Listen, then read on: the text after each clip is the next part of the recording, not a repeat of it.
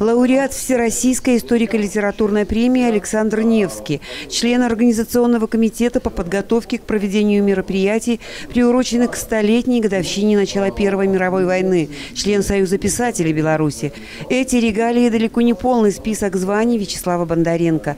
Берестейцам он известен как ведущий проекта телеканала ОНТ «Открытый формат». Однако в Брестский университет Вячеслав Васильевич приехал в совершенно другом амплуа. Автор-историк представил в городе над Богом свою новую книгу, которая чуть меньше недели, как отпечатана в типографии. Берестейцы увидели это издание первыми. Это книга о русских генералах, уроженцах нашей земли, родившихся в Белорусской губернии, которые воевали на Первой мировой войне. В том числе воевали, конечно, и на Брестской земле.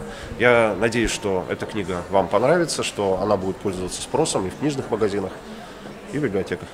Особый интерес к Первой мировой войне воплотился в творчестве Вячеслава Бондаренко несколькими интересными книгами. В них автор рассказывает о рядовых солдатах на фронте, о трагедиях и судьбах участников кровопролитных сражений. Новая книга повествует и о знаковых личностях тех лет. Интересная подача материала возвращает читателя к истории своего государства. Вячеслав Васильевич многогранен, а потому литература не единственное его увлечение. Я просто занимаюсь тем, что мне интересно на, на данный момент. И, условно говоря, когда я переключаюсь на что-то другое, я, я просто отдыхаю от того, чем занимался до этого.